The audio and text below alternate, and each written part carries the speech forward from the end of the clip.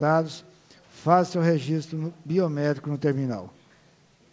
A presença, no termo do parágrafo 1 do artigo 132 de mente interno, dispensa a leitura da ordem anterior, considera aprovada e solicita a sua subscrição. Essa reunião se destina a apreciar a matéria constante na pauta, discutir e votar proposições da comissão e apurar em audiência pública a ruptura de acordo previsto na Lei 22.549 de 2017 e no Decreto 47.210 de 2017, que permitem a quitação de créditos tributários por meio de dação em pagamento de bens imóveis. A presidência acusa o recebimento das seguintes proposições, os quais foram designados como relatores. Projeto de Lei 133 de 2019, no primeiro turno, deputado Sargento Rodrigues.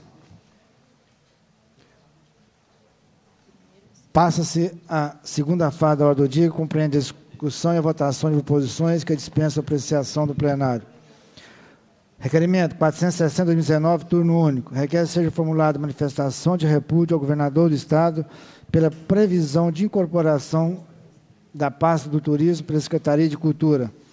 Ressaltando-se que também foram formuladas manifestações de repúdio da Federação dos Circuitos Turísticos do Estado de Minas Gerais, pelas associações dos municípios circuito turísticos e por prefeituras, num total, num total de aproximadamente 400 ofícios. Autor, deputado Charles Santos. Em votação, requerimento. Presidente, Tem Vossa Excelência a palavra. Vossa Excelência pode suspender a reunião por um minuto, só para o entendimento aqui? Sim. A presente sessão está suspensa.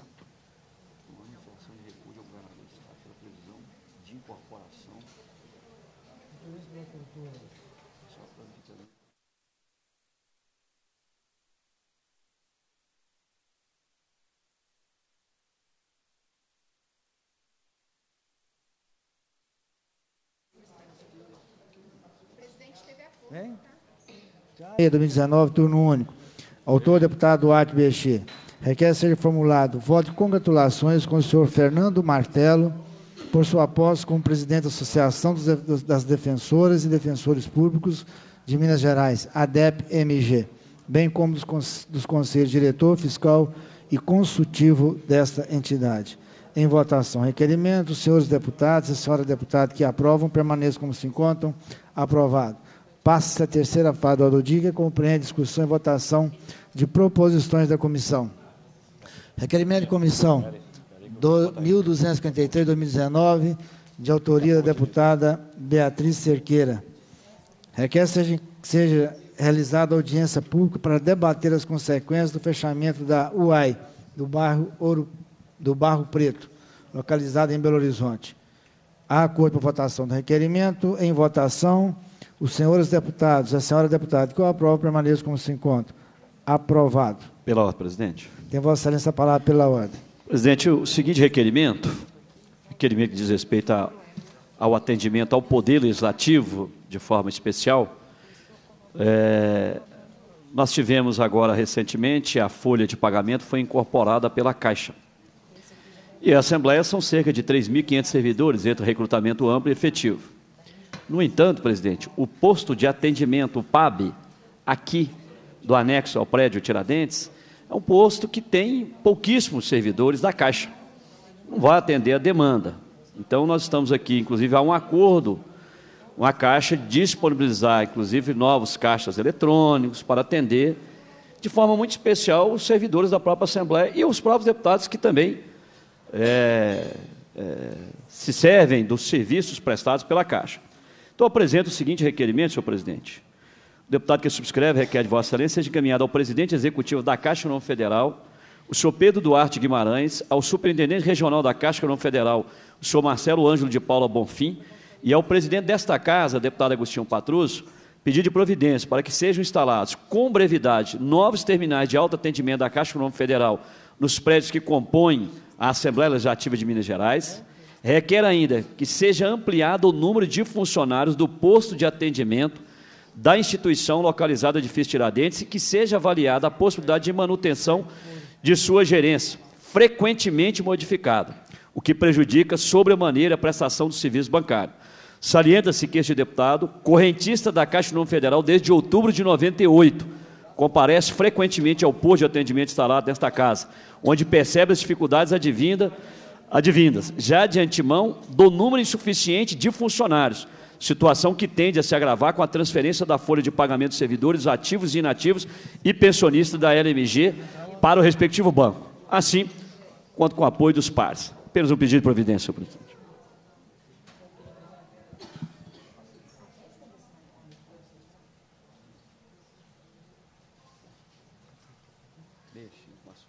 Em votação, requerimento de autoria do deputado Sargento Rodrigues. Os senhores deputados e a senhora deputada que eu aprovo, permaneço como se encontra. Aprovado. Requerimento em comissão, autor deputado professor Wendel Mesquita. Deputado que subscreve, quero Vossa Excelência, os termos ambientais, seja realizada audiência pública para debater a elaboração de proposição que trate da lei orgânica do sistema prisional. O deputado retirou requerimento apresentado na última reunião e apresentou esse novo requerimento.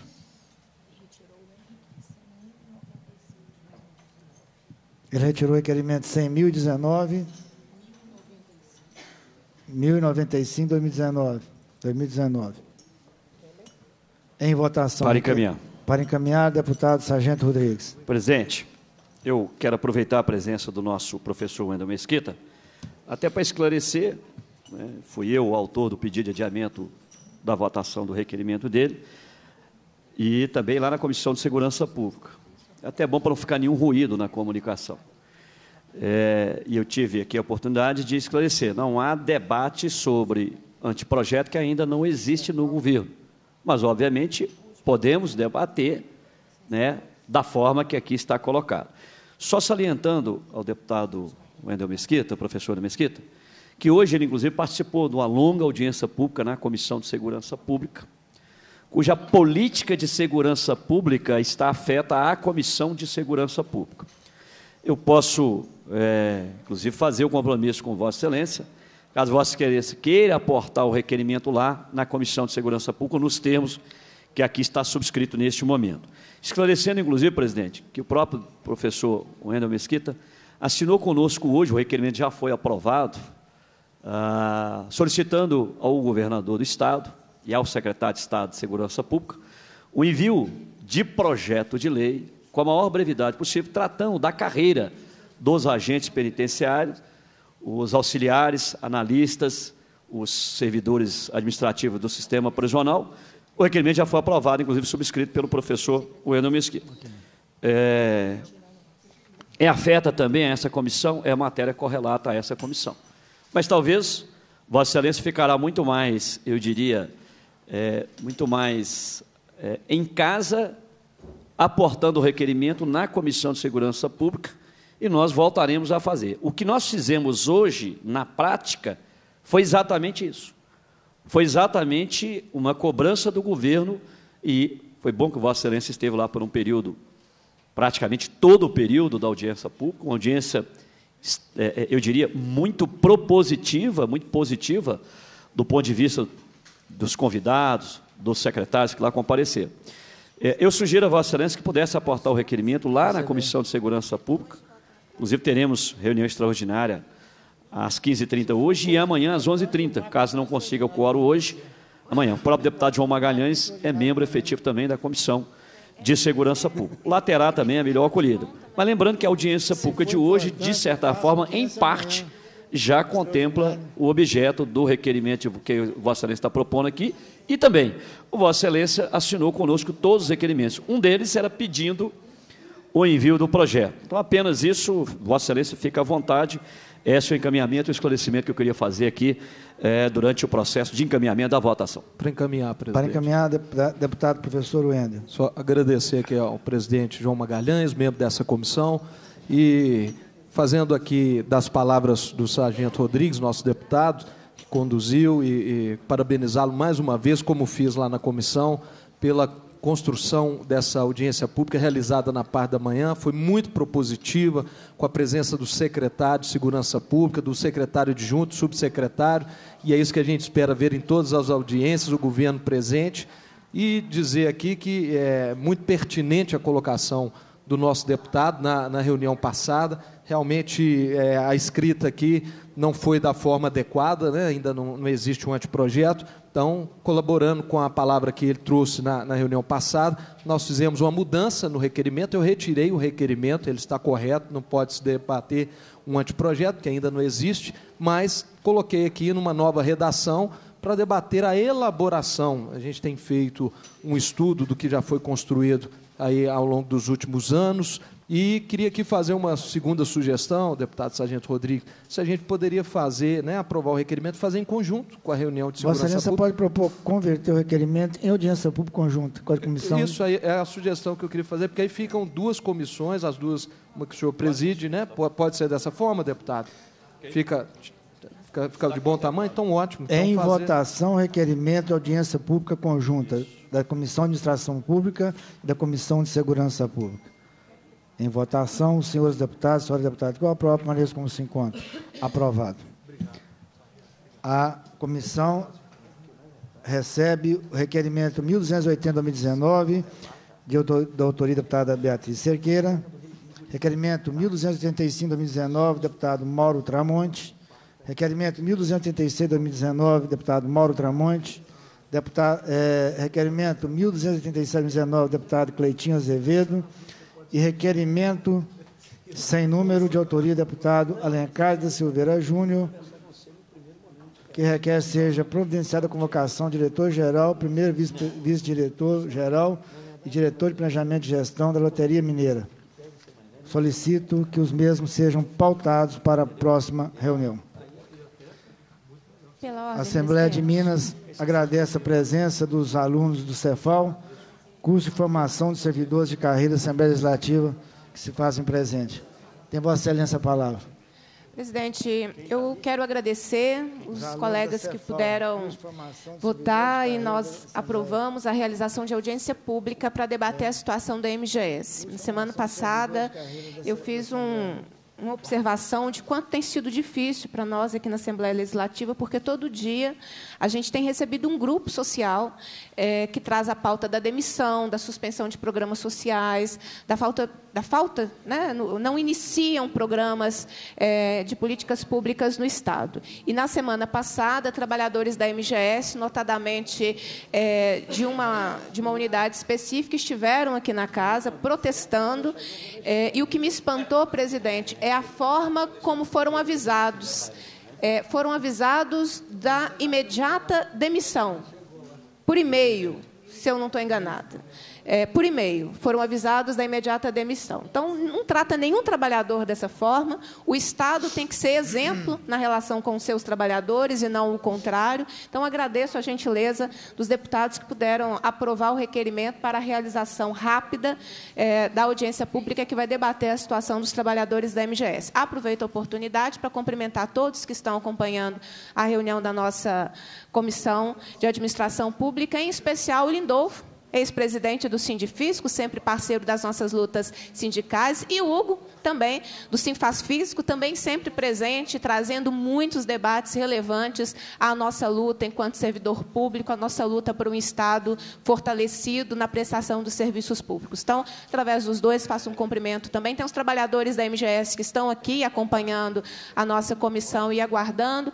E já justifico, presidente, a minha impossibilidade de ficar até o final dos trabalhos, porque nós teremos uma audiência pública como membro da Comissão Parlamentar de Inquérito. Estou atuando nas questões relacionadas à mineração e hoje nós vamos ter uma audiência pública que debaterá a violação de direitos e a atuação da Anglo-América eh, em Conceição do Mato Dentro e municípios vizinhos, com convidados, inclusive, da região. Então, estou um pouco restrita da participação hoje. Peço desculpa aos convidados por não poder acompanhar eh, até o final os debates, mas o tempo que eu puder estarei presente. Já faço o convite para aqueles que puderem depois acompanhar os trabalhos do debate sobre a violação de direitos da Anglo-América, que será feito lá na Comissão de Direitos Humanos. Obrigada, presidente. Podemos agendar essa audiência para a próxima semana? Podemos. Eu vou olhar com os trabalhadores agora. Terça. Vamos olhar lá. Ok. Então, pela ordem de novo, muito obrigada. Pela Obrigado, celeridade, pela inclusive, presença. na marcação da audiência. Passa-se a primeira fase da terceira parte da reunião, que compreende audiência pública com a finalidade de apurar a ruptura de acordo previsto na Lei 22.549, de 2017, e no Decreto 47.210, de 2017, 2017, que permitem a quitação de créditos tributários por meio de dação em pagamento de bens imóveis. A presidência registra e agradece a presença do Dr. Luciano Neves de Souza, advogado-geral adjunto da Advocacia Geral do Estado, representando o Dr. Sérgio Pessoa de Paula Castro, advogado-geral da AGE.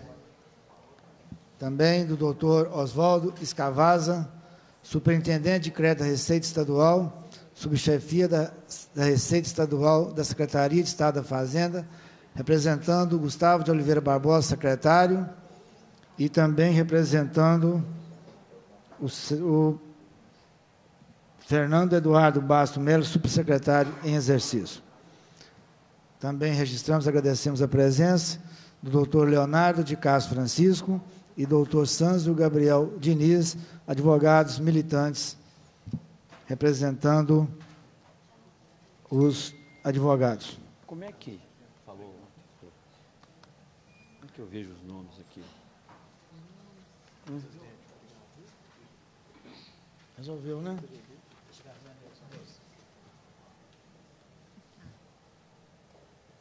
Cadê? É o Bruno. O Bruno estraga tudo aqui.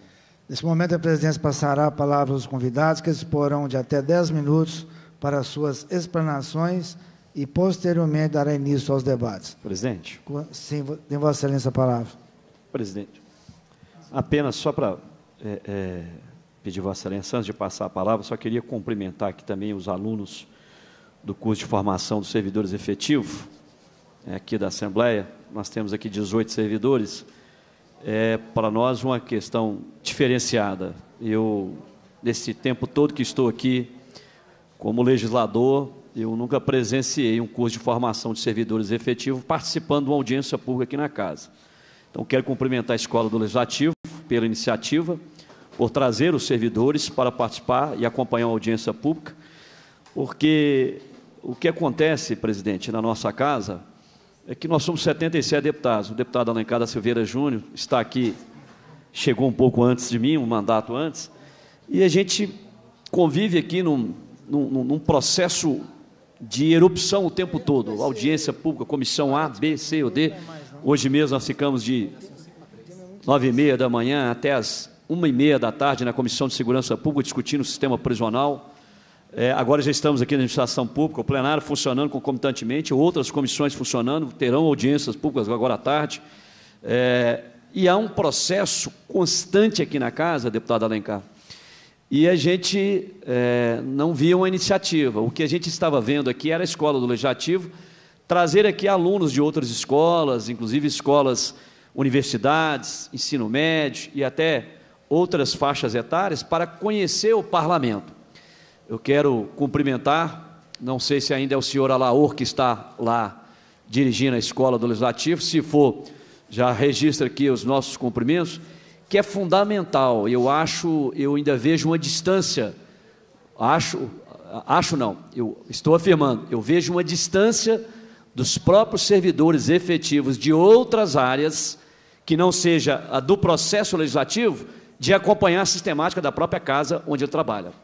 Há um distanciamento, há, às vezes, uma, um distanciamento do servidor não saber nem quem é o deputado, não conhecer ele fisicamente, ele não associa o nome à pessoa física. Isso é muito ruim para a Assembleia. Então, nesse momento, é um momento diferenciado, deputado João Magalhães, onde os servidores estão vindo participar de uma audiência pública, conhecer como é que funciona, quem são os deputados, como é que ela acontece, porque eles exercem funções diferentes, cada um na sua função, mas estão dentro do Poder Legislativo.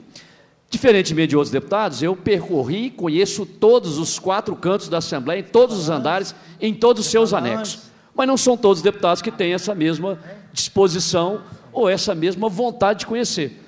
Então, às vezes, o deputado, o deputado Alencar sabe muito bem disso. Às vezes ele passa dois mandatos aqui e ele não sabe que debaixo da garagem dele tem outro andar que tem um número de servidores trabalhando. Ele não conhece o anexo onde fica aqui na, na, o nosso PROCON, onde tem um outro prédio, onde tem toda uma assessoria nossa. Ele não conhece a própria escola do Legislativo, que nunca passou lá na porta dela. Ou, às vezes, o anexo. E, e isso faz com que o, o, servidor tenha um distanciamento do próprio parlamento. A, o, o conhecimento do funcionamento, da importância dos debates, das comissões, dos encaminhamentos e da capacidade de mediação, de muitas vezes de mediação e conciliação, não só de projetos de leis, mas também de acordos e de caminhamentos que são frutos de audiência pública. Então, quero aqui registrar, parabenizar e dizer que, que se torne uma prática. Quem sabe assim a nossa gerente geral das comissões estenda essa fala, vá até a, a, a Escola do Legislativo, fortaleça esse elo e peça a eles que tragam os alunos e os próprios servidores da Escola do Legislativo também para trazer e vir aqui porque às vezes ele chega num determinado concurso, vai para lá e nunca mais botou o pé aqui e fica lá na escola do legislativo. Então quero registrar de forma, primeiro registrar de forma positiva. E segundo que essa, é, essa, essa, é, essa sugestão e essa iniciativa, que ela se torne permanente com a escola do legislativo, para que o próprio servidor conheça melhor o funcionamento da própria casa onde ele prestou o concurso e está servindo. Me desculpe, presidente, pela, por ter alongado, mas era um momento muito importante. Presidente. Deputado Alencar tem a palavra. Parabenizar a colocação do, do deputado Sargento Rodrigues, desejando boas-vindas a todos. E lembrar que nós temos a Assembleia, tá vendo? Nós temos a Assembleia, a melhor Assembleia, o melhor, os melhores funcionários do Brasil. A Assembleia de Minas é a Assembleia modelo para todos os Brasil, para todo o Brasil, para todas as Assembleias do Brasil. Eu posso falar que eu conheço todas através é, de contatos e de receber aqui funcionários de todo o Brasil. E a Assembleia está modernizando muito. Eu quero lembrar que até no final do ano nós vamos ter 140 funcionários aposentando aqui na Assembleia. No final dessa legislatura nós vamos ter 500 funcionários já para aposentar. A Assembleia falou, teve um período muito grande, quase 10 anos sem fazer concurso. Então nós estamos tendo a possibilidade hoje de ter novos funcionários dessa casa nos cargos de chefia, nessa vagância de 10 anos. Data vênia que nós tivemos que diminuir, por exemplo, a data do, do da data de, de trabalho do diretor de, de, de, legislativo, de primeira de 20 anos na casa, de 15 anos, de 12, e agora tivemos que passar para 10, justamente dando oportunidade. Então a Assembleia de Minas, ela dá oportunidade para os novatos. E nós temos aqui o melhor quadro de funcionários das Assembleias do Brasil. Toda o Brasil todas as Assembleias do Brasil é, visitam a Assembleia de Minas para conhecer o trabalho. Sejam todos bem-vindos e parabenizar. Salvo engano, é o Guilherme, que era do Legislativo, não é o Guilherme que está lá embaixo hoje? Quem? A Ruth. Dando os parabéns para ela também. E, presidente, eu acho que essa audiência pública aqui vai dar a oportunidade de uma grande gama de, de empresários que estão hoje assustados com o que está acontecendo, com a falta de ter a condição de pagamento. E funcionários, ou melhor, funcionários não, e, e empresários esses que estão pagando com seus imóveis, que estão pagando mensalmente os 20% que era, que se tiver alguma mudança, eu acho que vai ter oportunidade de ser explicada, alguma mudança nessa hora, eles não vão ter como. Nós teremos hoje várias empresas que estão com pagamento em dia do que foi taxado, salvo engano, os 20%, né, que é em espécie, eles não vão ter condição de pagar mais. Eles vão ter, nós vamos ter empresas em Minas quebrando, senhor presidente. Então, acho que aqui hoje dá para a gente entender. E no projeto é, da, da reforma do governador, nós estaremos sim colocando algumas emendas, nós estaremos implementando essa condição de pagamento. Eu acho que o governo tem que pensar que ele pode buscar nesses empresários parceiros. Eu quero lembrar também, aí eu vou falar com tranquilidade, que eu fiz a lei antifumo, hoje ninguém fuma em ambientes fechados. E o governo hoje deixa arrecadar 32 milhões de impostos depois vocês podem até confirmar isso do pessoal do cigarro. Porque 68% do cigarro, senhor, presidente, vendido em Minas Gerais, é cigarro que vem do Paraguai, é cigarro clandestino. Minas hoje deixa de arrecadar, é uma fábula por Minas. Então não adianta penalizar o empresário que quer colocar em dia, que quer colocar em dia suas dívidas e facilitar o que a gente está vendo hoje. Estou dando o exemplo da Souza Cruz, que hoje ela, ela passa dificuldades e 68%, lá no meu gabinete tem um estudo, nós discutimos isso porque Minas hoje é o maior, maior cartel de, de, de, cigarro clandestino que nós temos no Brasil, mas todas as assembleias passam por isso, todos os estados passam por isso, um cigarro clandestino. Então, a Souza Cruz hoje, ela deixa de arrecadar, acho coisa de 30 milhões por ano, salvo engano, que vocês podem vão ter oportunidade de falar. E aí a gente tem que deixar bem claro, essa comissão essa casa é. E o governo tem que ser parceiro dos empresários. Não adianta colocar a faca no pescoço hoje. Porque senão, olha, está difícil de pagar, e quem está pagando, está pagando, vamos popular, os trancos e barrancos, e não tem, e não vão ter essa condição. Então está na hora da gente pensar com maturidade, a casa tem que fazer. Eu acho que o governo de Minas, já tive a oportunidade de conversar sobre um credor que ali estava, o governo de Minas tem que fazer por onde e ajudar agora não é acabar com a galinha dos ovos de ouro que tem, não. Eu tenho certeza que a intenção do governo, a intenção dessa casa é trazer Minas que volte a crescer e dando oportunidade para todos é, os, os, os, empresários. Está vendo que nós vimos agora, né? O lançamento que vai ser no dia 4 da CEMIG, dando oportunidade da compra de, de, de geladeira ou eletrodoméstico com custo baixo de energia. CEMIG vai pagar. Se você for lá no Zema e comprar, a CEMIG vai pagar. Estou falando, estou dando exemplo do Zema, mas também pode ser no Ricardo Eletro, pode ser em todo, mas um programa dessa natureza que saiu agora, nós podemos falar que vai beneficiar aqueles que vendem eletrodomésticos hoje em toda Minas Gerais. Muito obrigado. É, vamos dar início à audiência pública. É, solicito aos interessados em fazer uso da palavra que se inscrevam junto à assessoria das comissões.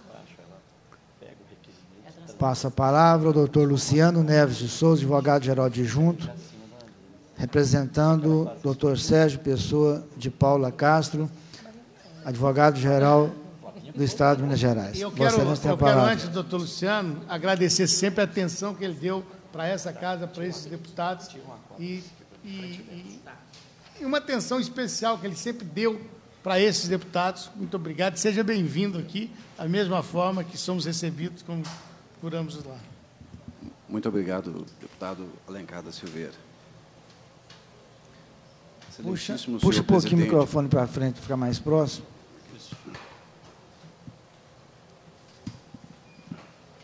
Excelentíssimo presidente, deputado João Magalhães, é, excelentíssimo deputado Oswaldo Lopes, excelentíssimo deputado Sargento Rodrigues. É sempre uma honra e um prazer estar no Parlamento Mineiro para prestar as informações é, que forem necessárias a essa casa para a tomada de decisões, subsidiar as tomadas de decisões dessa casa. Cumprimento os servidores que estão presentes e também é, o público é, aqui presente, como também o doutor Leonardo e o doutor Sanzio, que fazem parte aqui da, dessa audiência pública. É, a Lei 22.549, que instituiu o regime de recuperação é, de regularização de crédito tributário, foi regulamentado pelo Decreto 47.210. Né? E foi uma importante legislação que trouxe é, aos cofres mineiros no ano 2017, 2018, e até hoje também ainda existe reflexo, é, a possibilidade de 124.392 parcelamentos. É, parcelamentos e pagamentos à vista, é, aí é, em dinheiro. Né? De pagamento à vista foram 3 bilhões 516 milhões, e um montante parcelado de 9 bilhões 434 milhões. isso em moeda corrente. A legislação permitiu ainda o pagamento com precatório, o pagamento com bens móveis e o pagamento com bens imóveis. Vou me ater mais à questão do pagamento dos bens imóveis, que é o motivo da audiência pública, esclarecendo o procedimento é, de como é realizado esse pagamento. É, o requerente ou o contribuinte eles apresentam um requerimento à Advocacia Geral do Estado, demonstrando a intenção e a forma com que querem fazer o pagamento com, com bens imóveis. É, a Advocacia Geral do Estado faz um parecer, uma análise jurídica com a legislação posta, né, a lei, o decreto e as resoluções, e encaminha para a Secretaria de Fazenda para fazer análise da conveniência ou não de se aceitar o bem imóvel oferecido. A Fazenda aceitando o bem imóvel, é, o parcelamento ou o pagamento na forma que foi pedida, é, é, o pagamento com, com imóvel implantado, né, recusando o imóvel, abre-se a opção do contribuinte fazer o pagamento é, em dinheiro ou fazer o parcelamento. É importante deixar claro que tanto a Advocacia Geral do Estado quanto a Secretaria de Fazenda é, cumprem o que determina a legislação estadual, do, da forma que está posta. Né? E o, o superintendente Oswaldo ele falará é, melhor e trará subsídios em, é, em relação é, como é feita essa análise, a quantidade de requerimentos que nós analisamos, sempre buscando uma segurança jurídica e uma padronização nos procedimentos. Né? O que é decidido num caso será decidido em todos os casos. É a segurança jurídica que o contribuinte precisa e que, na verdade, que todos, todos nós precisamos. Então, são esses esse pequeno resumo do que eu queria colocar da legislação e me coloco à disposição da mesa, do, do, dos colegas que aqui estão, para qualquer esclarecimento complementar. Obrigado, Luciano. Pela ordem, conceda a palavra ao doutor Oswaldo Escavazzo, superintendente de crédito da Receita Estadual. Vossa Excelência tem a palavra. Muito obrigado, deputado João Magalhães. Muito boa tarde a todos. Deputado Oswaldo, deputado Sargento Rodrigues, boa tarde, deputado Elencar. É sempre um prazer estar nessa casa do povo aqui para trazer esclarecimentos que fizerem necessários. É, boa tarde também toda a audiência, servidores da, da casa e todos os outros presentes. Muito boa tarde. É, complementando as palavras do doutor Luciano, a, a Lei 22549 de 2017, que começou a ter sua vigência no dia 5 de julho de 2017, foi um, um, um instrumento aprovado nessa Assembleia de grande interesse para os contribuintes. Como o doutor Luciano disse, nós tivemos a regularização de mais de 125 mil processos tributários administrativos aí, tributários, de, sejam eles pagos à vista ou parcelados. Então, isso foi um, um grande incentivo aos contribuintes. Um, eu, eu, nos meus 20 anos de Secretaria de Fazenda, posso dizer que nunca, eu acho que nunca houve no Estado de Minas Gerais um processo de regularização tributária que ficou aberto tanto tempo. Nós tivemos aí quase 18 meses com, com esse novo regularize aberto, com sucessivas é, renovações, justamente buscando o interesse dos contribuintes, justamente por saber das dificuldades que os contribuintes tinham, do, do, do, do, do alto incentivo que, o Estado estava dando, nós tínhamos esse interesse em renovação do, desse projeto, desse novo regularize. Então, como o doutor Luciano disse, e, em resultado disso tudo, nós tivemos aí uma regularização sem precedentes. Nós tivemos um pagamento à vista de 3 bilhões e meio, como ele falou, pagos à vista lá no caixa do Estado, 2 bi e meio, mais um, um bi e meio que nós recebemos aí já em parcelas de parcelamentos implementados. Nós temos hoje uma carteira de parcelamentos do Estado de 4 bilhões e 700 milhões, que rende ao Estado quase 100 milhões de CMS corrente ao mês. E, e, como forma aí de pagamento, como o doutor Luciano falou aí, regulamentado pelo, processo, pelo decreto 47210, estavam previstas adjudicações de bens móveis e adjudicações de bens imóveis. Como resultado disso, ao longo destes 18 meses aí de processo, nós recebemos na Secretaria de Fazenda 90 pedidos de adjudicação de bens imóveis ao longo desse processo. Tantos outros de educação de bens móveis já estão consolidados, os bens móveis, nós já estamos recebendo uma série de produtos que estão servindo aos interesses da administração pública. Dentro desses, desses, desses processos que nós recebemos, esses 90 que nós já recebemos de educação de bens móveis, a Secretaria de Fazenda, como, como o doutor Luciano falou, vem trabalhando em estrita observância do decreto regulamentador 47210 da Lei 22549, trabalhando com todo, todos os procedimentos, sejam eles atendendo a resolução conjunta 5031, que é, que é com a GE conosco, e tudo, todos, todos os regramentos elencados aí pelo decreto. Bom, esses processos eles, eles entram, como o, o doutor Luciano falou, pela AGE. A AGE faz toda, toda a checagem jurídica, se atende, se, se o contribuinte é, é, proprietário do imóvel, se tem as matrículas, etc. todos os, os, preceitos ali que estão fixados na resolução e manda para, para a Secretaria de Fazenda, para a Superintendência de Gestão de Ativos, que é o órgão da Secretaria de Fazenda que tem atribuição legal para fazer o procedimento, continuar com esses processos. Todos esses processos, eles, eles entram pela AGE já com uma avaliação feita pelos contribuintes, deputado. Os contribuintes eles vão ao mercado, eles contratam avaliadores e, e anexam ao processo. Isso, inclusive, é, é uma regra que, que existe para esse processo. Chegando na Fazenda, a Fazenda, para dar uma independência uma lisura a esse processo, analisa se todos os documentos é, atinentes a isso estão ali alocados e encaminha esses documentos para Minas Gerais Investimentos, Participações, que é um órgão da Fazenda, é, é uma empresa coligada à Fazenda, que, por sua vez, vai fazer uma contratação de, de engenheiros no mercado, avaliadores, para fazer essa, essa avaliação do bem. Se tem liquidez, onde que está situado esse imóvel, etc., atendendo todas as regras da BNT.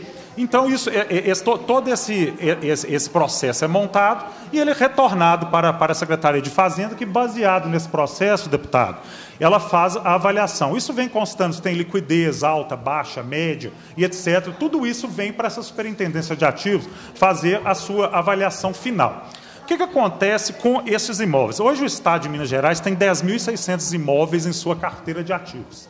O, o, então, o Estado, qual é o interesse do Estado que ele tem pra, ao receber imóveis? Ele tem, o primeiro interesse é para fazer para afetação. O Estado, chegando na superintendência de ativos dessa carteira de imóveis oferecidos pelos contribuintes, aqui representados pelos advogados, ele, ele, ele, ele, a gente faz uma coleta nas, nas secretarias, nas mais diversas secretarias. Coab, Secretaria de Desenvolvimento Agrário, Codemig, para ver se tem algum interesse público na doação desse imóvel para algum investimento, é, IEF, outras secretarias, isso tudo faça uma coleta para ver se tem interesse de afetação. Porque o Estado não, não, não, não, não tem interesse em ter imóveis para uso dominical. Ficar lá parado o imóvel, isso gera custo para o Estado. O Estado tem imóveis sem utilidade, ele vai ter que colocar segurança, ele vai ter que cuidar daquele imóvel, isso gera um custo. Então, qual a primeira fase? Então, a gente vê se tem interesse nisso. Segunda fase, o que, que, o que, é olhado nesses processos? Tem que olhar se ele tem liquidez, se nenhum órgão público tem interesse, tem que ver se ele tem liquidez para quê? O maior interesse do Estado hoje, ao receber imóveis de educação, é a venda dos imóveis. Nós queremos fazer caixa para o Estado. Então, esse é o interesse final, fazer caixa para quitação dos débitos tributários. Então, nesse sentido, o, o, a Lei 22549, Decreto 47 do 10, 47210 prevê aceitação. Então, o Estado ele tem a discricionariedade dele, avaliando dentro de todo esse arcabouço de interesse, de, de para afetação, para venda, o Estado faz essa avaliação de liquidez e faz uma manifestação de interesse final ou não na aceitação desses bens por os contribuintes. A título de exemplo, deputado, o, o Estado recebeu, então, nesse, nesse tempo todo, 90 imóveis, Desses 90 imóveis, 30 já tiveram manifestação favorável do Estado. O Estado já fez o um encaminhamento desses imóveis para a GE fazer o procedimento de comunicação ao contribuinte, para o contribuinte ver se aceita a avaliação do imóvel feita pelo Estado. Então, esses 30 já saíram da Fazenda e a GE está fazendo esses procedimentos finais para, se aceito pelo contribuinte, efetuar a penhora e a posterior adjudicação. Outros 46 pedidos já passaram pela Fazenda e ou não tiveram manifestação de interesse favorável pela baixíssima liquidez, ou pelo contribuinte não aceitar a avaliação que o, que, que o Estado fez, independentemente desse imóvel, que via de regra, deputado, a, as avaliações ela tem vindo mais ou menos com a avaliação feita pelo Estado com, com, avaliadores independentes, ela fica mais ou menos em um terço do valor que os contribuintes colocam no início do processo para avaliação. E o processo que entra no Estado para oferecimento de adjudicação, ele deve ser de liquidação forçada para liquidação forçada. É um valor um pouquinho abaixo do mercado. Então, hoje, para esses processos, então 46 deles não, não tiveram interesse do Estado ou do contribuinte. Porque muitas vezes também, deputado, o próprio contribuinte, ao oferecer um imóvel, nem aparece para acompanhar uma, uma avaliação em loco por parte do Estado. O contribuinte, por exemplo, ele para de pagar um parcelamento que está atrelado junto com esse, com esse oferecimento de imóvel, ele deixa de pagar, então cai o objeto do novo regularize. Então, esses imóveis então, que têm baixa liquidez, eles podem até, baixa ou baixíssima liquidez, eles virão a se tornar um problema para o Estado. A título de exemplo, nos últimos três anos, o Estado tentou vender imóveis que foram adjudicados. Ao longo do tempo, nos últimos três anos, nós oferecemos para venda 147 imóveis. O Estado, nesses últimos três anos, conseguiu vender apenas oito.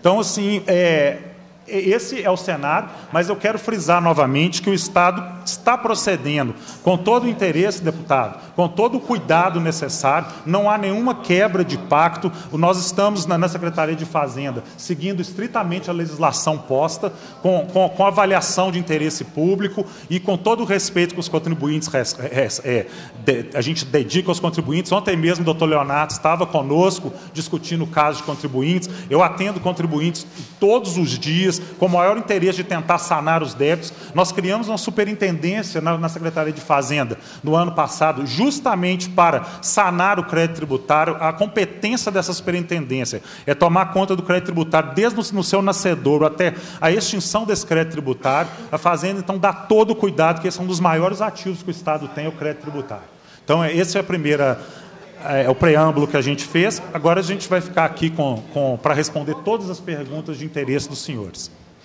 Ô, doutor Oswaldo, só me tirar uma dúvida. São 125 mil processos. PTAs, que nós PTAs, regularizamos. Sim. Desses, apenas 90 foram de dação em pagamento com imóveis? Nós recebemos 90 imóveis para, para adjudicação. São apenas 90 processos nos 125 mil? Isso, com, com a adjudicação oferecida. Ah, sim. E desses 90, mil... mil PTAs que foram regularizados. Mas aí você pode, você, a maior parte, quando a gente fala. Aí desses só, só 95 ou 95 mil? Não, 90... Não, são 125 mil processos tributários. Somente foram 90. 90 em 125 mil? Isso, mas só para ficar claro, dentro desses 125 mil, aí nós temos IPVA, que foi um, um número expressivo, o ITCD. Então, de ICMS mesmo, desses 125 mil, a gente teve, do, do ICMS, nós tivemos ICMS, 33, 30, 41 mil são de ICMS. Então, um terço deles são de ICMS. Outra dúvida. Quando da, da formação do PTA, a empresa, se não me falha a memória, eu fui relator na época, né, depois veio o regulamento, acho que ela tinha que fazer uma entrada Isso. inicial. Aí, na sequência, ele ofereceu a dação em pagamento. Se a dação for recusada agora, o refis está fechado, a empresa perde o refis? Não. A, atender no interesse público, deputado, a, a, por sensibilidade da administração pública, da AGE, em conjunto com a Secretaria de Fazenda, nós editamos uma norma lá na Resolução 50, 5031, 2017, dizendo o seguinte, que o contribuinte que não tiver aceito o imóvel oferecido, nós abrimos a possibilidade, a partir da intimação desse contribuinte, da não aceitação desse imóvel, ele pode parcelar ou pagar essa diferença do crédito com todos os benefícios constantes do novo regularize. Inclusive com novos imóveis? Não, com novos imóveis não. Ele vai, ele vai poder fazer isso pagando ou parcelando o crédito. Hoje, hoje a crise está grande, aí vocês vão deixar de receber.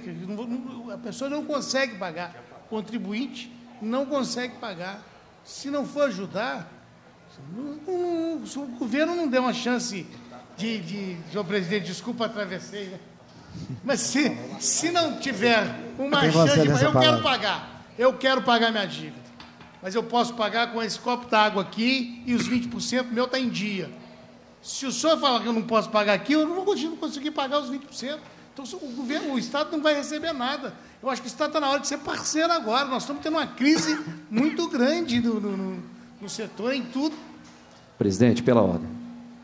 Tem Vossa Excelência a palavra.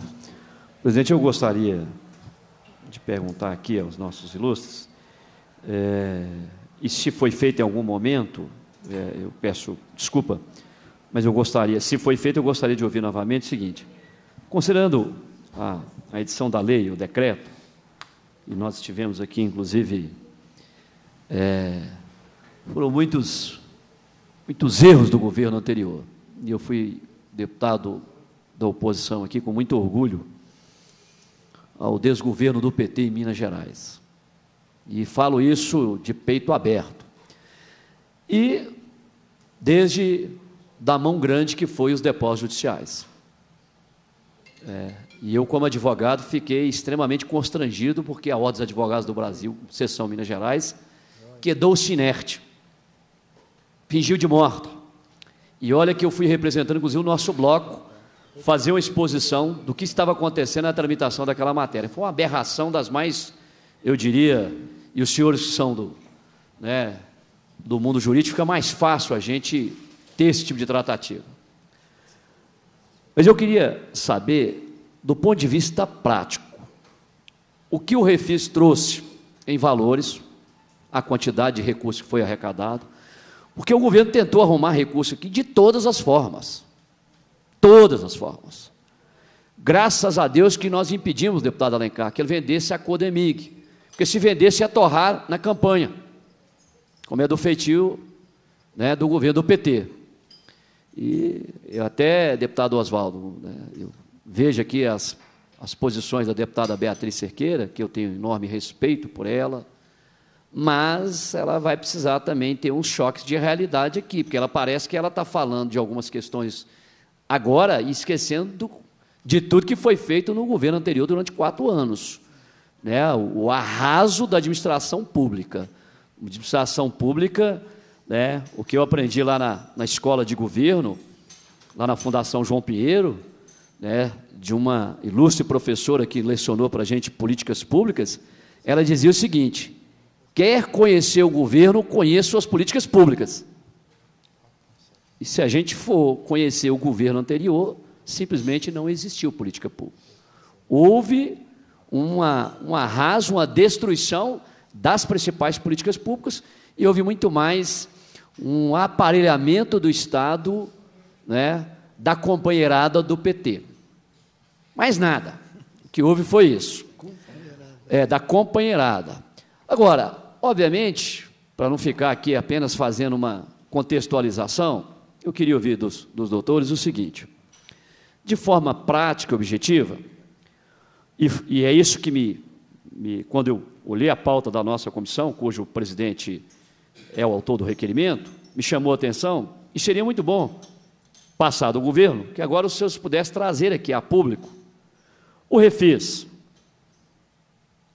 O senhor, parece que o primeiro orador, o senhor Luciano, trouxe um período de duração. Nesse período de duração, até o presente momento, o que foi é, alcançado na prática? Primeiro, os valores.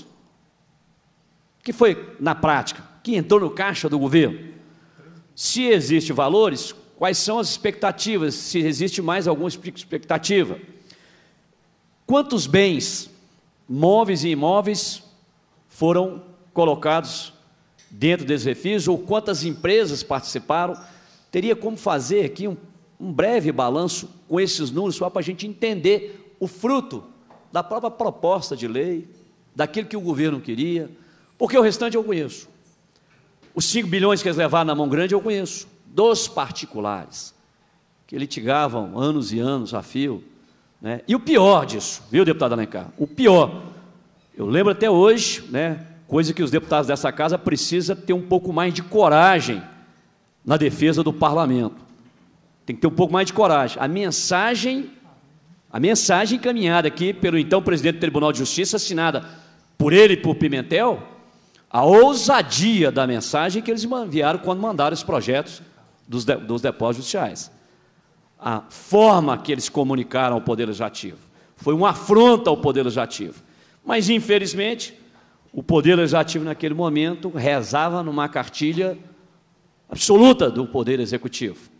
Se fosse outro momento, o Legislativo teria se agigantado e o presidente do Poder teria dado uma resposta também à altura. E uma das respostas é botar o projeto na gaveta. Porque eu, ao longo desses 21 anos de parlamento, eu aprendi o seguinte: vendo presidentes passarem, que a única coisa que o presidente tem é a pauta. E a pauta quem faz é ele, quem manda projeto. Assim como o presidente da comissão pauta os projetos e requerimentos na comissão, por simetria, ao presidente da Assembleia. O presidente da Assembleia, quem pauta o projeto é ele. É ele que pauta, é ele que tira, e acabou. E não tem, pode chiar A, B ou C, pode juntar é, é, é, judiciário, Ministério Público, Tribunal de Contas, Executivo. A pauta é dele, a caneta é dele. Mas, infelizmente, não tiveram peito para sequer não deixar o projeto chegar a plenário. Então, seria muito bom os senhores trouxessem aqui esse, esse resumo do qual foi o fruto final, qual foi o produto final de tudo aquilo que o governo saiu rapando o tacho aqui, no governo do Estado, com tantas outras ações, né? Que eles fizeram. O próprio deputado João Magalhães ajudou demais o governo, mas por mais que ele ajudava, o governo era ruim demais. O deputado João Magalhães ajudou tudo que ele podia, mas o governo era ruim demais. Porque ao mesmo tempo que eles queriam vender ativos, imóveis, fazer tudo com o Estado, eles não demitiam um cargo comissionado, eles aparelhar a companheirada. A CEMIG aqui, que está a 200 metros nós, agora não. Eu vi a hora dela cair, porque tinha um andar lá, que, o que tinha de companheiro do PT lá, com cargo comissionado de 5 mil, 10 mil, 15 mil, 20 mil, ele ia desabar, que não sabia onde é que, onde é que era uma repartição, mas estava num determinado andar lá, professor Oswaldo. É tão vergonhoso que era. Então seria muito bom que os senhores trouxessem aqui essas informações, até porque faz parte né, do objeto da audiência e, e os senhores têm esses números que seria muito bom reportar à Comissão de Administração Pública. Doutor Luciano, por gentileza, tem a palavra.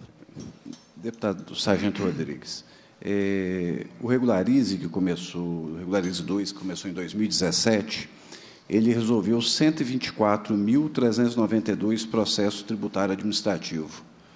124? É, 124.392 PTAs, que a gente fala, processo tributário administrativo. É, pode ser que uma empresa tenha mais de um processo tributário administrativo. Então, okay. isso não quer dizer que foram 124.392 empresas. O Estado recebeu à vista o ONHA tem 12 parcelas, então ele já recebeu esse valor em 2018, é, 3 bilhões 516 milhões 388 mil e 70 reais. Existe hoje na carteira do Estado, fruto do Regularize, 4,7 bi parcelados. Isso num volume de 100 A receber. Milhões, é, num volume de 100 milhões por, por mês. Existe hoje 4,7 bi parcelados, uma carteira de parcelamento de 4,7. Ah, Isso representa 100 milhões por mês. 4,7 bilhões. Parcelados, que representa 100 milhões mais ou menos por mês. Tá? E 30 imóveis foram autorizados pela Secretaria de Fazenda para serem adjudicados. O contribuinte pode concordar com a avaliação do imóvel. Os imóveis, eu não, não entendi. Quanto aos imóveis? É, 90 contribuintes apresentaram imóveis para serem adjudicados. Ah. Desses 90, 30 a Secretaria de Fazenda é, deu aceite para serem adjudicados. É. Pode ser que desses 30, algum contribuinte não aceite o valor que a Secretaria de Fazenda colocou. Então, nem todos serão adjudicados. Né? Mas agora existe um, um processo, é, uma, um procedimento judicial para efetivar essa adjudicação do, dos imóveis. Uhum. Ok? Em relação, presidente, continuando aqui, aproveitando o gancho, em relação aos processos dos os processos tributários administrativos quanto aos bens móveis, né? porque os imóveis o senhor trouxe. Quantos processos, a arrecadação, como é que anda isso, É. doutor Luciano? É, são vários é, bens móveis adjudicados. Né? A gente sempre consulta as secretarias, as autarquias e fundações. Por exemplo, nós adjudicamos é, leite, leite em pó para entregar para hospitais, para FEMIG, é, tudo, colchão para entregar para entregar a Secretaria de Segurança Pública, travesseiro. É, eu não tenho o número disso. Posso levantar e depois encaminhar à mesa é, em relação aos números de bens móveis. Bem, obra de arte, é, parece que tem dois procedimentos abertos para adjudicação de obra de arte. Chocolatado. É, tem também. É chocolatado, isso mesmo, deputado. Eu, eu não tenho o número. Eu não tenho o número fechado, viu, deputado Sargento Rodrigues? O senhor tem condições de esclarecer quanto aos que foram dação em pagamento e adjudicação dos bens móveis? É, o que a gente prefere, é, a, a única diferença de dação em pagamento e adjudicação é o seguinte: a adjudicação a gente leva para homologação judicial, dação em pagamento a gente não leva. Então, todos os casos que nós fizemos, nós preferimos é, adjudicar, levar à homologação, homologação do juiz, né? porque aí tem a questão de conferência de valor, da avaliação e tudo, então a gente sempre prefere fazer isso judicialmente. Dação em pagamento por conta é, da Advocacia Geral do Estado não foi feito. Tá? E qual- já que nós estamos falando de bens, de processo tributário administrativo dos bens móveis, foi publicada uma matéria com relação a, a- a bens móveis de Iotim. Sim. Como é que anda é, esse processo? A quantas andas esse processo, doutor Luciano? Esse, esse processo é, ele foi montado é, de acordo com a conveniência e oportunidade é, das secretarias envolvidas e foi levado à homologação judicial. né? É, ainda não foi homologado. Está aguardando a Está homologação aguardando. judicial? É, é, não é dação em pagamento, a gente sempre prefere fazer Então, a adjudicação. Adjudicação. para contar com a homologação do juiz. Então, aguarda, aguarda ainda a homologação judicial. Não foi ainda. Deputado Alencar, não sei se Vossa Excelência percebeu, mas até 2018 foram 3 bilhões 516 mil 388 3 bilhões 516 mil 388 reais, não é isso? 516 milhões 388 mil e 70 A 3 reais. bilhões 516 milhões 388 mil, é isso? Isso até de 2018, que entrou nos cofres. O João Magalhães consegue ter essa conta, ele tem uma, uma conta melhor do que a nossa. 5 bilhões foram os depósitos judiciais. Mas está faltando mais recursos aí, né? Tem, tem mais recursos que entraram no governo do PT. Esse dinheiro evaporava. Evaporava. A gente não sabe para onde é que ia esse dinheiro. Mas os cargos não paravam de ser loteados. MGS, MGI, CEMIG, Copasa, né? Ah, os cargos comissionados continuavam. Aí não adiantava você conseguir vender, conseguir fazer arrecadação de recursos, obviamente o refis era uma boa medida do Estado. Tanto é que nós, mesmo da oposição, permitimos que o projeto continuasse a tramitar com a sua aprovação. Mas, deputado Alencar, levaram 5 bilhões, levaram 3 bi e meio, eu não sei como é que ficou a questão dos imóveis, né? de todos os imóveis, não sei se o deputado João Magalhães lembra, né? do projeto que nós aprovamos aqui, o governo Securitização? da securitização, não, da, não, não da securitização, dos, Dos fundos. dos fundos, É, os fundos não foram implementados. fundo imobiliário, Não foram implementados. não foram, não foram implementados. E olha que nós tivemos aqui quedas de braço, né? porque ele queria vender a cidade administrativa para pagar aluguel. Depois dela construída. O grande problema é que o cidadão que às vezes não acompanha a política e o desenvolvimento dela, e essa relação principalmente do legislativo e executivo, ia pagar a conta por gerações e gerações de aluguel. É como você tem um apartamento, o apartamento talvez valha 500 mil reais, vamos colocar hipoteticamente, o governo queria passar para o setor privado para ele pagar aluguel. Aí ele te adiantava daquele apartamento 200 mil reais, ele valia 500, depois você passava a pagar o aluguel dele. Era isso que ele ia fazer com todo o prédio administrativa, que o aluguel girava em torno de 16 milhões mensais. Mensais. Em 10 anos nós fizemos a conta, Alencar. Pagava os 2 bilhões que gastaram para a administrativa.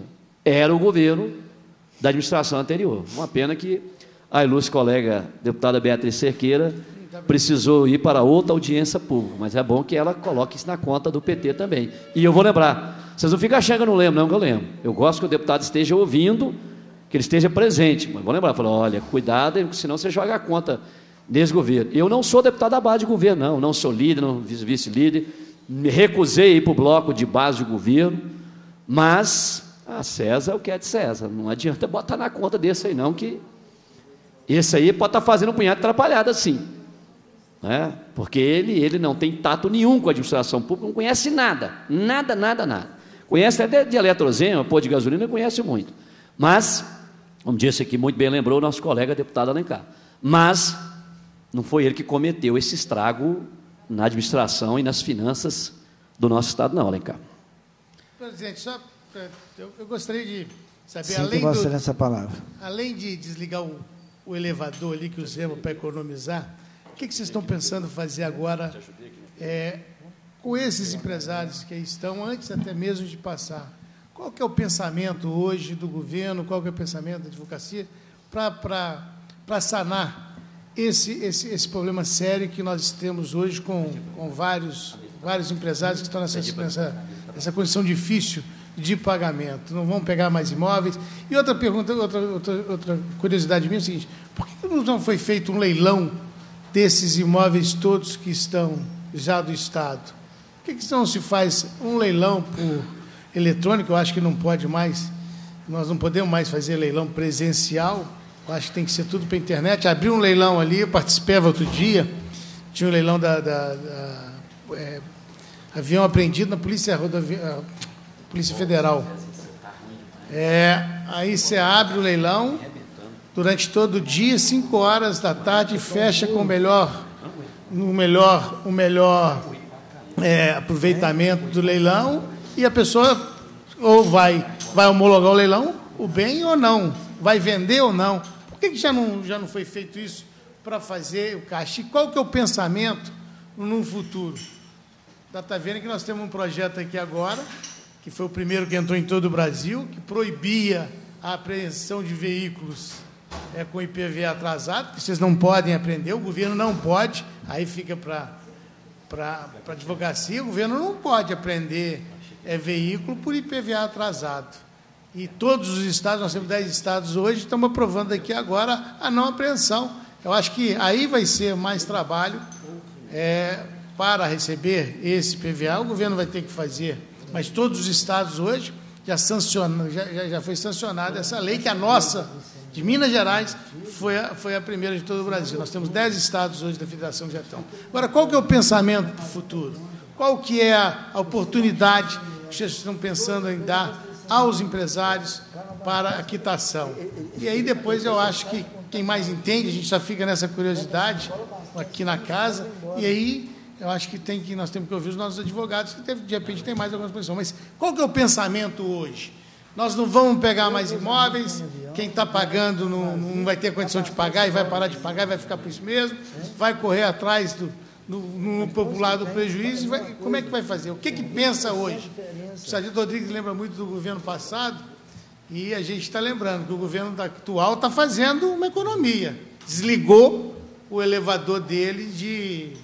O elevador privativo hoje lá no Palácio, ele já não está subindo mais pelo elevador privativo só está é subindo de escada. É uma maneira de, de, economia. Mas qual que é o pensamento hoje que pensa hoje o governo? Deputado, primeira, uma, primeira pergunta que você fez. Deputado, não, fica aqui. Não, vem para cá. Deputado, primeira pergunta que o senhor fez, hoje, é a primeira coisa que nós ainda temos 14 processos lá de imóveis que nós estamos avaliando para envio à GE se for com manifestação favorável. Então, esses processos não terminaram, o Estado não bloqueou nada, então vai passar por toda a avaliação, igual eu disse. Agora, dá licença, o senhor tem 14 processos. Ainda Desde o dia 1 de janeiro, salvo engano, não recebem mais nenhum. Desde o dia 14 de dezembro não recebe. Mas o que, que acontece? Dentro esse processo passa por uma análise aprofundada da GE, a GE solicita documentos para os contribuintes, faz uma interação dinâmica com os contribuintes, até montar esses processos são enviados à Fazenda. Enviados à Fazenda, nós fazemos todo aquele procedimento que eu já falei aqui anteriormente.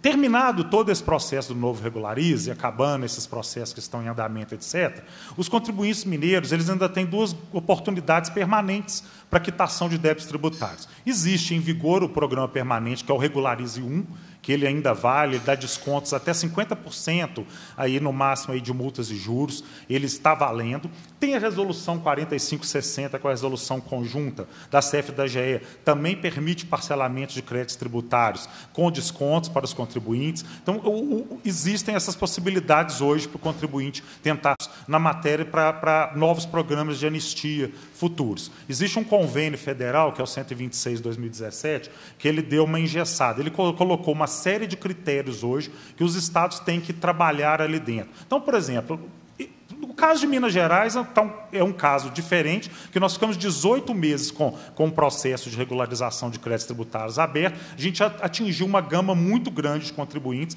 nós conseguimos sanar diversas situações, passadas, futuras, nós conseguimos trazer aquela figura do bom pagador, então nós já fizemos um processo bem longo.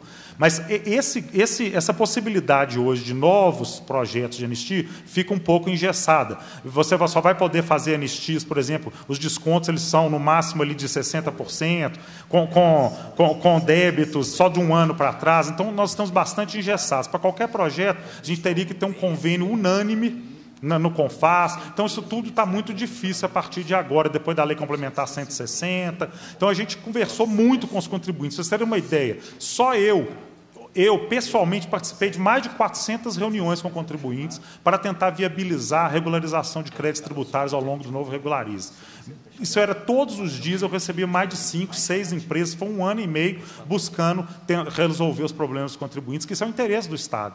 Para o Estado interessa resolver. O Estado não interessa ter litígio. O Estado quer, o Estado quer resolver esses problemas. Então, esse é o preâmbulo aqui para a sua primeira pergunta, que eu acho que hoje ainda existem meios, mecanismos, não tão é, é, é, vantajosos quanto o novo regularize. Eu acho que, esse, como eu sempre dizia nas reuniões que eu fazia com os contribuintes, era eu, é, vamos regularizar, porque é difícil ter uma, uma situação igual a essa. Então, eu acho que, que daqui para frente as coisas virão com, com, não, com, não com tanto, tantos benefícios. O doutor Luciano quiser complementar.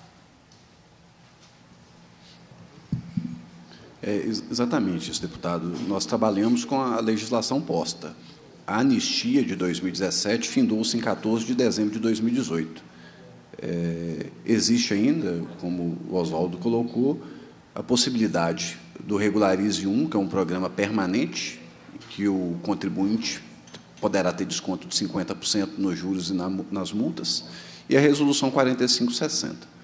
Em relação à primeira pergunta de Vossa Excelência, em relação, em relação às, à, à venda dos imóveis, né, a Advocacia Geral do Estado normalmente é, faz a venda judicial, né, através de leilão é, nos autos da execução fiscal é, determinado pelo juiz, pelo juiz da causa.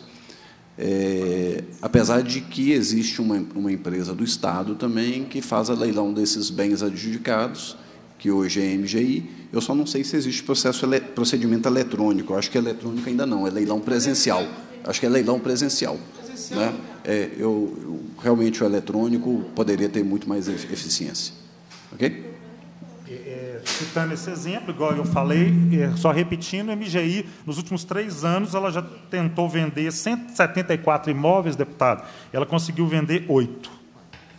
Mesmo eleição? Eu não sei se eles tentaram, fizeram isso, eu não, eu não posso dizer se é leilão, mas acredito que seja, eu, eu acredito que seja leilão que é o mais corriqueiro. Leilão presencial. Judicial não sai. Conceda a palavra ao doutor Leonardo Castro Francisco, advogado tributarista. Vossa Excelência tem a palavra. Senhor presidente, João Magalhães. Puxa mais próximo. Senhor presidente, João Magalhães, deputado Sargento Rodrigues, doutor Luciano, doutor Oswaldo, nobre colega Sanzo, deputado Alencarzinho, senhores presentes no plenário. É, esse assunto, é, por diversas, inúmeras ocasiões, eu estive pessoalmente na Fazenda, na AGE, inclusive com o doutor Oswaldo, o doutor Luciano, e eu venho acompanhando isso há pelo menos seis anos. E agora, na virada do ano, aconteceu um fato interessante, porque nós, dentro dos vários casos que eu acompanho, um deles, é, que já estava caminhando há pelo menos quatro, cinco anos, nós estávamos já, é um caso que passou Ministério Público, envolveu o Ministério Público, é, AGE, nós fomos, avançamos, retroagimos por, por diversas vezes, e até que chegamos num consenso de que o contribuinte ele tinha o que o patrimônio, o que restava são imóveis que foram então oferecidos para fins de adjudicação judicial, que foi amplamente né, explicado aqui nesse plenário. Mas, conforme ontem eu tive reunião com duas voltas, de fazenda, a gente ficou perplexo porque né, esses imóveis eles foram avaliados pelo, pela MGI, né, das participações, e na conclusão técnica da, da ela entendeu que os imóveis, apesar de estarem localizados em uma região de aglomerado, né, de um polo, ou seja, um polo, né, a periferia Horizonte, mas teriam sim chances de liquidez. Eu até poderia até arriscar em dizer que são mais líquidos do que o próprio crédito dado pelo Estado. Porque a informação que a gente tem pela mídia, desculpe a falar besteira, parece que foi feito dois leilões do crédito dado e não obtiveram sucesso. Eu não sei se isso é verdade. Doutor, eu não sei se é, essa informação é possível, mas enfim. Questão de liquidez. Nós estamos falando aqui de liquidez o tempo todo é, do, do crédito. Esses imóveis, ele teve um parecer favorável, apesar de tudo, favorável pela MGI. E a Secretaria de Fazenda, por meio do seu, da sua diretoria de ativos, né, nos, né, nos comunica essa situação e, eventualmente, falou que não, é, apesar de, de ter essa indicação positiva, foi nós não optamos por não adjudicar os imóveis. Ou seja, foram seis anos de trabalho inócuo. Por que então que lá até 31 de 12 né, do ano passado, aliás, antes mesmo de eu adentrar nessa questão, eu, eu acompanho muito de perto isso tudo, há muito tempo. Então eu tive, é, eu vi vários outros processos, imóveis, inclusive, da mesma, da mesma característica, bens móveis, inclusive, fiquei sabendo que agora até chocolatado, obras de arte, que foram adjudicadas pelo Estado, ou seja, foram recebidos pelo Estado. Enfim, a isonomia passou. Como é que funcionaria isso, sabe, doutores? Assim, a gente. Que é um caso, esse caso especificamente, eu acho que tem vários outros casos parecidos com o nosso. Né? Como é que seria isso? Porque é um caso que, de, que requer uma, uma, um olhar especial. Por quê? É um contribuinte que já vem tratando seu, tentando se regularizar perante o Estado há pelo menos seis anos, e quando na hora de que o Estado poderia realmente por fim à demanda, no, com, com uma pouco mais de, uma, de uma, uma página fala que não tem interesse. Isso contrário ao parecer do órgão técnico avaliativo. Então, assim, a gente é, ficou, assim, todos nós da área tributária, né, ficamos perplexos e percebemos um movimento diferente desse ano de 2019 para a legislação anterior, para a legislatura anterior. Houve uma mudança de comportamento repentina e isso nos trouxe uma perplexidade, uma insegurança imensa. E vamos retroagir, a, a, a, nesse caso, inegavelmente, a era das, das trevas, porque nós vamos estabelecer um crédito tributário de lá dos 20 milhões, 15 milhões, e o contribuinte não tem condição de pagar. Com, com dinheiro, não tem. E aí? Né? Não é o caso, às vezes, da gente reconversar, sentar, restabelecer alguns parâmetros e analisar o caso a caso, ver o que é de fato é interesse do Estado. Não sei se o doutor Santos quer complementar alguma. Conselho a palavra, doutor Sanzio Gabriel Diniz. Eu vou aproveitar aqui o embalo do doutor Leonardo, cumprimentando os presentes, os excelentíssimos deputados, doutor Oswaldo, doutor Luciano, pessoa que eu tenho maior apreço. É justamente a preocupação, porque a lei ela não é criada para resolver uma pendência financeira. Ela tem um objetivo essencial, que é regularizar a situação fiscal do contribuinte. Para quê? Para ele continuar tendo sobrevida, para ele continuar recolhendo os impostos, para ele continuar gerando empregos. Então, essa situação é a premissa inicial da legislação. Plano de regularização de créditos tributários. Né?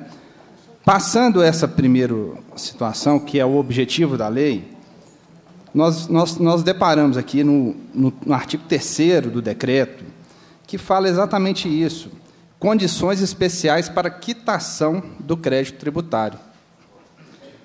Passamos mais à frente, o que, que estava sendo adotado aqui em vários casos, com perfis de contribuintes, que são contribuintes de é, relevância, não que os outros contribuintes não sejam relevantes, mas o perfil desses contribuintes que estão tentando é, acordar com a Fazenda Estadual, dando imóveis e pagamentos, são contribuintes que têm uma relevância perante o Estado. Ressalvo com a ressalva que todos os contribuintes têm a relevância. E o que, que esbarramos aqui numa situação exatamente posta pelo doutor Leonardo? É um sentimento que está havendo, de 2018 para 2019, uma mudança de posicionamento. Nós, na classe dos advogados, que estamos na linha de frente desses requerimentos, ficamos é, um pouco assustados, porque é, existem precedentes, né? e nós trabalhamos nessa, nessa toada dos precedentes. E é fato relevante o êxito do, do, do programa, o número de adesões, o número de soluções, o número de arrecadação, né? E foi colocado aqui, bem colocado nessa audiência pública, que é um debate, uma reflexão sobre o caso, que qual o motivo né, de não analisar ainda né, e apreciar com a mesma forma isonômica esses casos pendentes. Né? Cria-se uma instabilidade, cria-se uma situação perante esses contribuintes que inicialmente querem aderir e, a tempo e modo oportuno, pediram a adesão, de que rumo vou seguir, né? É, qual, é, qual é o meu futuro? Qual o meu destino? Qual a minha situação como contribuinte perante o Estado? Qual a minha situação perante o Estado? Né? Qual a minha situação fática como empresário? Né?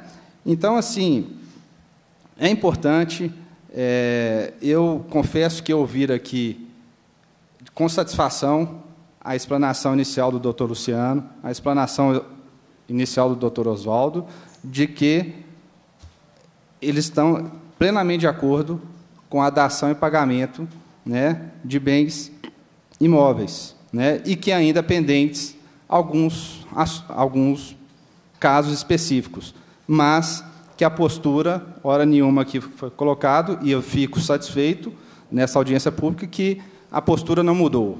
Né? É isso aí que, para a gente, traz conforto, para o nosso contribuinte, nosso é, parceiro é, é importante saber essa posição do Estado, principalmente.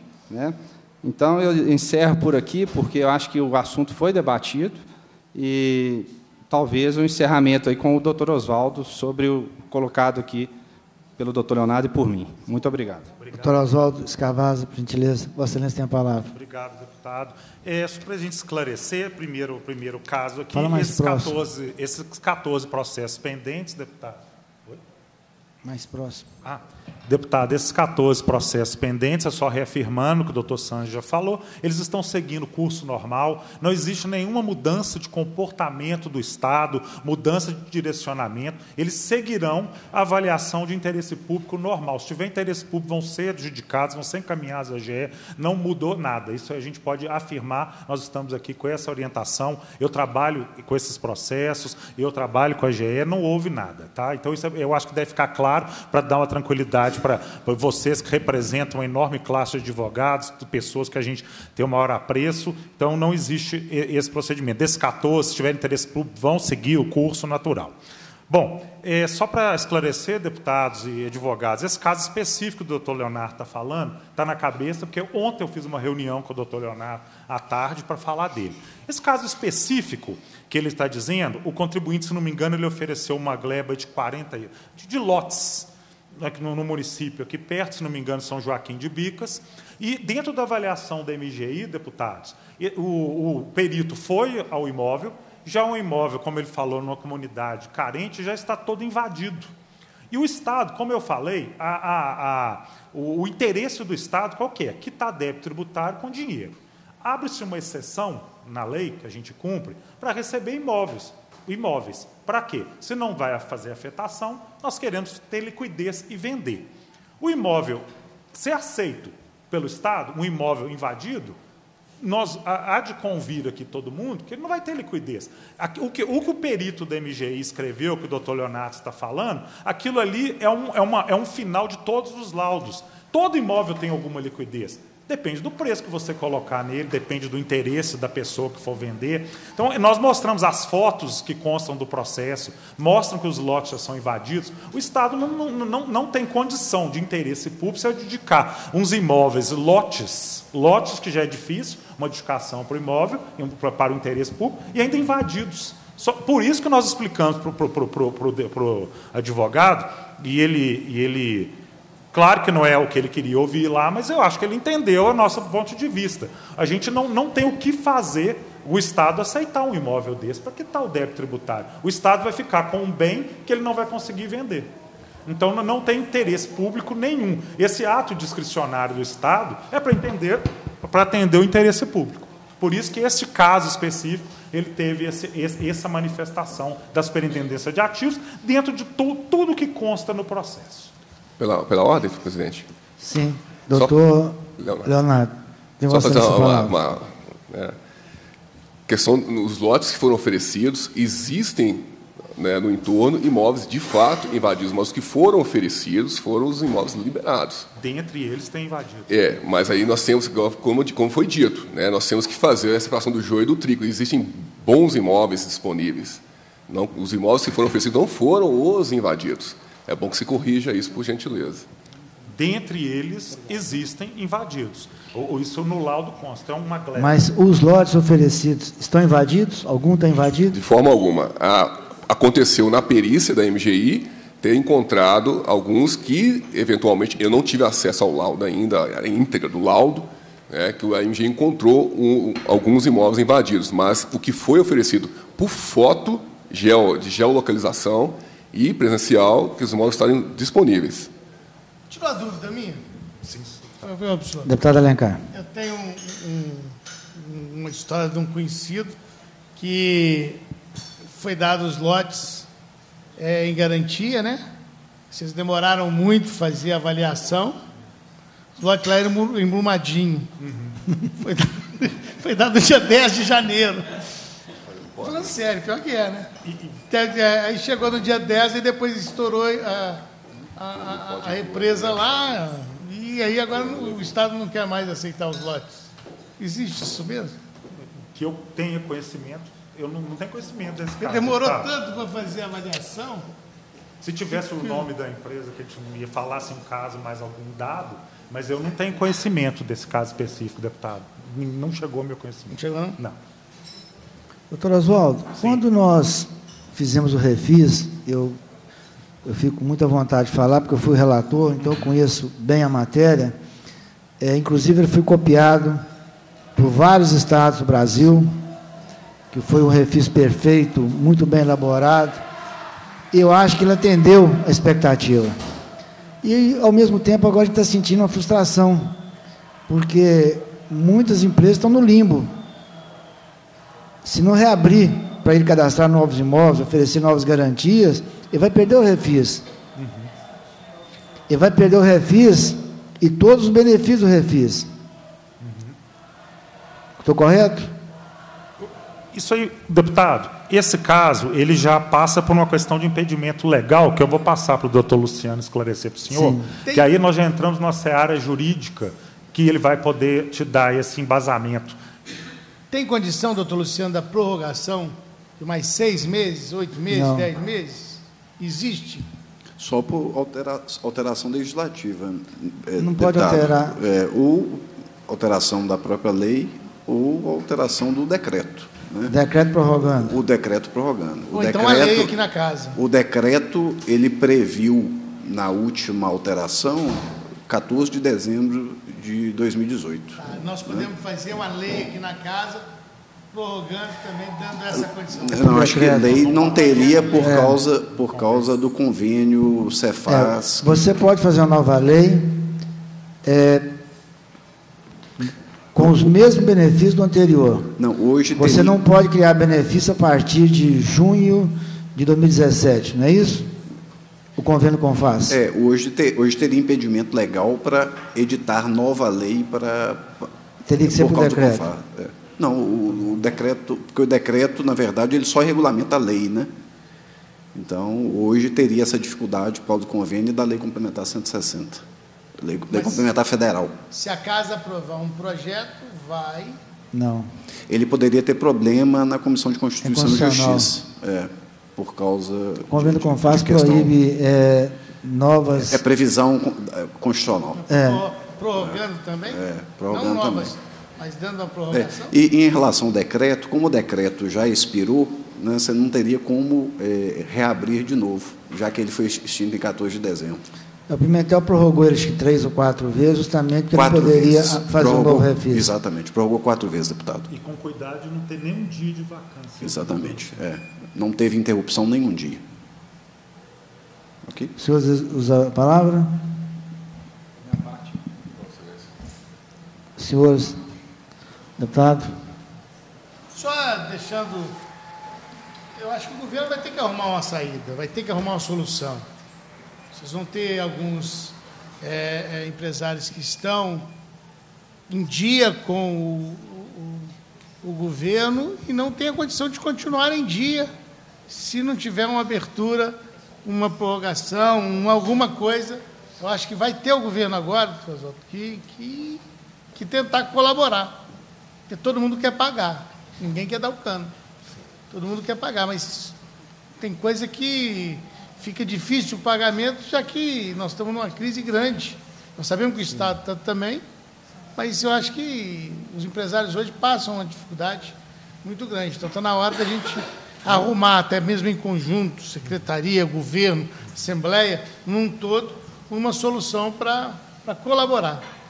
Deputado, é, a gente, eu digo aqui para o senhor que a Secretaria de Fazenda está de portas abertas para qualquer empresário, que a gente buscar dentro da legislação posta as soluções possíveis, fazer, parce fazer parcelamentos, demonstrar a situação melhor para o contribuinte dentro da legislação posta, nós estamos à disposição, como sempre estivemos. Então, isso, assim, a Fazenda tem todo o interesse de ajudar os contribuintes. Doutor Luciano, o convênio 126, de 29 de setembro de 2017, ele é, ele prevê apenas a concessão unilateral pelos estados, o Distrito Federal, do ICMS, não dos outros tributos. Estou correto? É, Qual o percentual hoje desses ativos que foram é, é, é abarcados nesse refis? Aproximadamente. O ICMS representa o quê? 80, 90? Representa 96% de todos os ingressos financeiros. Acertei. Tem você nessa palavra. Pode continuar. Não, só, só ia é, responder o senhor, mas ah, exatamente, 96%. Eu, calcular, eu calculei com as meninas aqui, aproximadamente aí 95, até um pouco mais. Obrigado a todos aí pela presença, os nossos nossa plateia, obrigado aí nossos estudantes, obrigado a vocês, advogados, obrigado ao doutor Luciano, doutor Oswaldo, deputado Alencar. E cumprida a finalidade da reunião, a presidência agradece a presença de todos, convoca os membros para a próxima reunião ordinária, determina a lavatura da ata e encerra os trabalhos.